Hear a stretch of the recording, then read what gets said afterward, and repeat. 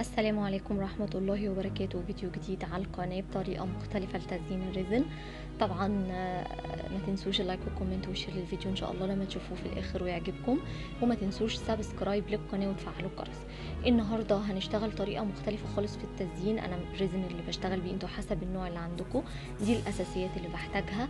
الجفت والعصيان الخشب والولاعة وطبعا القالب. النهاردة القالب ده رابع مرة استخدامه وما زالت اللمعة بتاعته موجودة. ده طبعا ال box اللي جالنا هدية وعملنا عنه review آه، من خامات Shiny Sky النهارده هنستخدم القصاصات المضيئة. طبعا القصاصات دي بتنور في الضلمة فإحنا النهارده هنعمل coaster مختلف. آه، شغله حلو قوي وبالليل لما نيجي نشتغل بيه هنلاقيه بينور في الضلمة.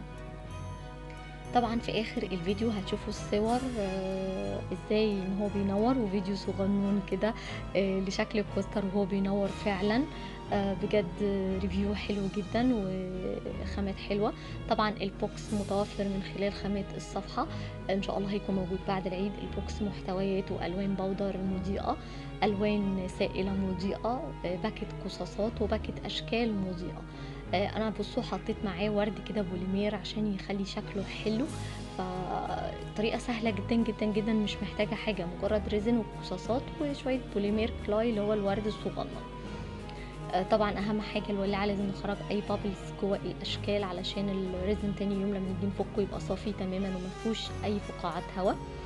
آه طريقة سهلة جدا بنسيبه لتاني يوم يتصلب أو في الصيف ممكن يقعد لحد تسع ساعات أو حاجة. دي الحاجات اللي استخدمناها طبعا الكصاصات والورد.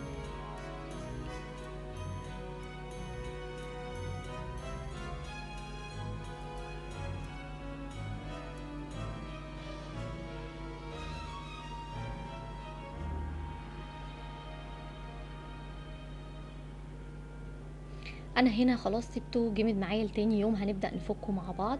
آه، بجد على فكرة ال coaster ده حلو قوي الصور هتشوفوها في آخر الفيديو. وهو بيلمع بصوا القالب لمعته بجد بجد بجد آه، يعني ما شاء الله عملنا أربع coaster ات واللمعة بتاعته لحد دلوقتي.